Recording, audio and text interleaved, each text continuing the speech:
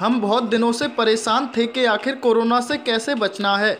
इस पर पाकिस्तान के किसी मंत्री ने अब तक जवाब क्यों नहीं दिया? आखिरकार आज हमारा ये इंतज़ार ख़त्म हो गया। मगर कोरोना से बचने के लिए पाकिस्तान की महिला मंत्री ने जो सलाह दी, उसके सामने तो डब्ल्यू की भी गाइडलाइनें फेल हो गईं। अब जल्द ही डब्ल्यूएचओ को अपनी टीम पाकिस्तान के मंत्रियों से कोरोना से बचने के उपाय जानने के लिए पाकिस्तान भेज देनी चाहिए। हम ऐसा क्यों कह रहे हैं? सबसे पहले आप पाकिस्तान की इस महिला मंत्री की कोरोना से बचने की सलाह सुनिए।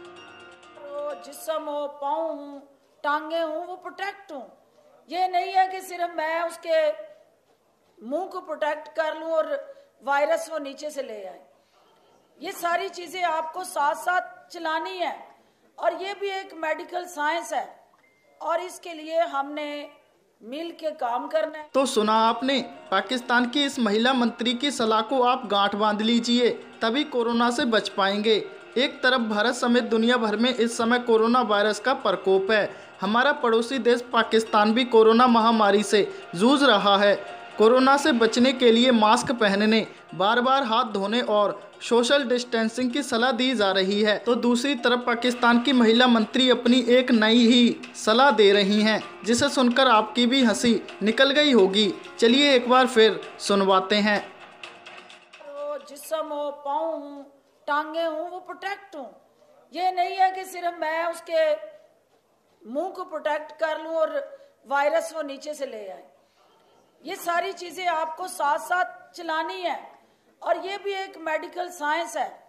और इसके लिए हमने मिल के काम करना है। पाकिस्तान की इस महिला मंत्री का नाम है फिरदौस आसे कवान। वायरल वीडियो में पाकिस्तान की मंत्री को ये कहते हुए सुना जा सकता है कि वायरस नीचे से भी घुस सकता है। उन्होंने लोगों से अपनी टांगों को ढकने की अपील की। ताकि वायरस नीचे से ना फैल सके। ये वीडियो सोशल मीडिया पर तेज़ी से वायरल हो रहा है। ये वीडियो पाकिस्तान के प्रधानमंत्री इमरान खान की सूचना एवं प्रसारण मामलों की विशेष सलाहकार मंत्री का है। वीडियो में उन्हें कहते हुए सुना जा सकता है तुम्हारा जिस्म हो, पाँव हो, टांगे हो, वो प्रोटेक्ट हो। ये नहीं है कि मैं सिर्फ़ अपने मुँह को प्रोटेक्ट कर लूँ और वायरस नीचे से आ जाए। ये सारी चीज़ें आपको साथ साथ चलानी हैं। ये भी मेडिकल साइंस है और हमने इसके लिए मिलके काम करना है। पाकिस्तान की मंत्री ने ये बयान बाकायदा स्टेज पर बैठकर माइक के माध्यम से दिया। हालाँकि ये कोई पहला मौका नहीं है जब पाकिस्तान के किसी मंत्री ने ऐसा बयान दिया हो। पाक प्रधानमंत्री इमरान खान की कैबिनेट में कई मंत्री और नेता ऐसे हैं जिनकी बयानबाजी चर्चा का विषय बन जाती है। फिरदौस आशिक अवान के वीडियो पर सोशल मीडिया यूज़र्स मज़ेदार प्रतिक्रिया दे रहे हैं। एक यूज़र ने फिरदौस से कहा कि उनको फवाद चौधरी से भी मिलना चाहिए। उनका ज्ञान भी काफ़ी अच्छा है।